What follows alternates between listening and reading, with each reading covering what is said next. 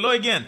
Last time we created a billable metric for Nova that counts image generation by tier. Today we're creating products and rate cards. Products appear as line item on invoices, whereas rate cards hold the actual pricing. At this point, we've set raw usage events, we've created billable metrics to aggregate them into quantities. Now we need to define our centralized rate card, which is where pricing actually lives. But first, let's talk about products. Products define the invoice line items your customers see. So they're the presentation layer of billing. Each product is tied to a billable metric, but one metric can feed multiple products if needed. Metronome currently supports four product types usage for consumption based billing, subscription for recurring charges, composite for percentage based fees, and fixed for scheduled charges, commits, and credits. Products are reusable across customers and contracts. And importantly, products don't actually define the prices, rate cards do. In other words, products determine how a customer is charged, but they don't dictate how much that customer pays. Finally, they also give you the option to convert quantities, like bytes to gigabytes, and also an option for rounding. Let's talk about rate cards now. These are Metronome's single source of truth for pricing. You define them once and can reuse them across customers. They're versioned, meaning updates preserve history and never silently overwrite old pricing. You can also schedule price changes for immediate effect, future updates, or even retroactively if needed. And when you need to roll out new pricing, you just publish a new version and apply it to customers without breaking existing contracts, which is a definite boost of developer productivity. Rate cards also support both dimensional pricing, where rates differ based on your event property values, and also tiered pricing, where prices change at usage thresholds of your choosing. So what does this mean for Nova? Well, we only need one usage product and we'll call it Nova AI Image Generation. It's linked to our Nova Image Generation metric, which covers all of our image tiers. And since we chose the image type property to be our presentation group key, our invoices will show standard, high res, and ultra as line items. Then we attach a rate card, Nova Image Generation Pricing, with dimensional pricing on image type. And of course, each image type maps to its flat per unit price, which we set to be 2 cents for standard, 5 cents for high res, and 10 cents for ultra. Alright, here we are in VS Code again, and our repo remains unchanged from the previous episode. We'll start by looking at the config file. So we've added a few new constants here. First, this dictionary that allows us to keep track of the Nova prices. Then the product name, Nova AI image generation. So that's what's going to appear on customer invoices. Next is the rate card name. And finally, a date that represents when this rate card becomes effective. All right, let's check out our client now. And we've added a few new methods here. First up is the list billable metrics method, and that's just gonna call the corresponding endpoint to get us a list of all the billable metrics on our metronome account.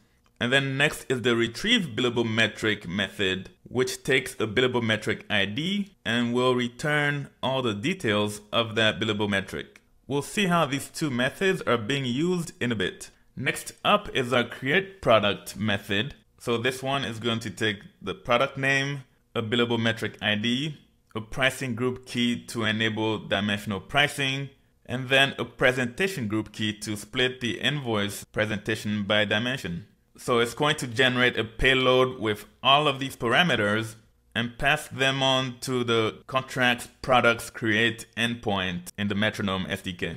We then normalize the SDK response into a dictionary and return it. Next is our create rate card method. And this one is straightforward. We're passing in a name and generating a description, which we then pass to the contracts rate cards create endpoint in the metronome SDK. And again, we normalize the response and return a dictionary.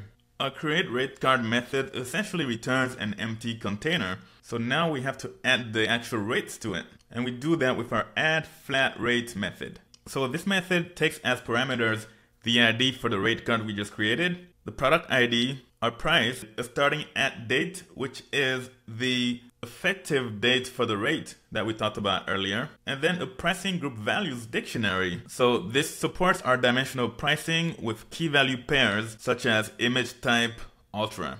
So we use those parameters to create our payload and we'll add a couple of new properties to our payload here. We set entitled to true, which effectively means we're turning this price on for the product. And then the flat rate type just means we're using a fixed price per unit of our metric. So that's our payload, which we pass to the rate card's rates add endpoint.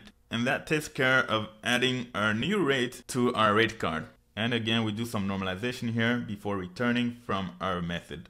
So those were the new methods we've added to our client. Just like we did in our previous episode, we're going to invoke them from our Flask server. So let's switch to that now.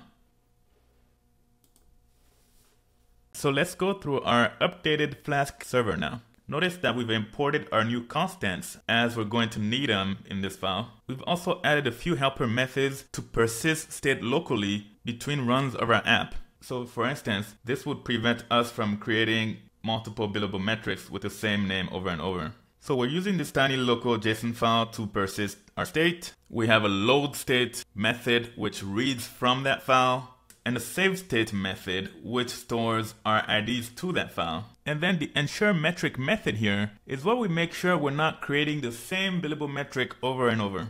And here's what we do here. We start by loading the state and then we check that state for a billable metric ID. And then we use that ID to see if it matches our billable metric name.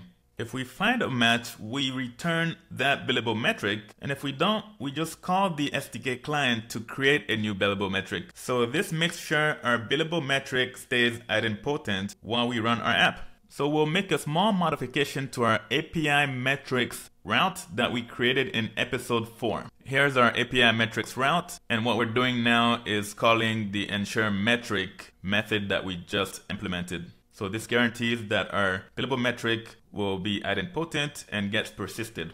Now let's check out the new route we're adding for episode 5. So this new route is API pricing and it will take care of creating our product and our rate card for us and then adding rates to that rate card. The first thing we'll do here is make sure we have a billable metric ID. And next, we're going to create our product. And this follows our usual pattern of calling our metronome client. So this is the create product method that we implemented earlier. We're passing in the product name from our config file, the billable metric ID, which we just retrieved or created. And then our pricing group key and our presentation group key are both going to be image type. And we'll get a product ID from the metronome SDK. Next up, we'll call our client to create a rate card using the name from our config file. And again, we get the rate card ID back from the metronome SDK. Last but not least, we'll add a flat rate to our rate card for each image type. And we're doing that with our billable prices dictionary, which we defined earlier. So we're adding a rate for each of these prices to our rate card. And next we'll persist our IDs so future runs can reuse them. So this is the return JSON that we'll get from posting to our new route. And we're just printing out the product name, the rate card name, and all the rates. And of course, we make sure to have exception handling. So let's try running this now. And as usual, we'll run a new terminal. We'll do split. Of course, we need our server running. So I'll launch it.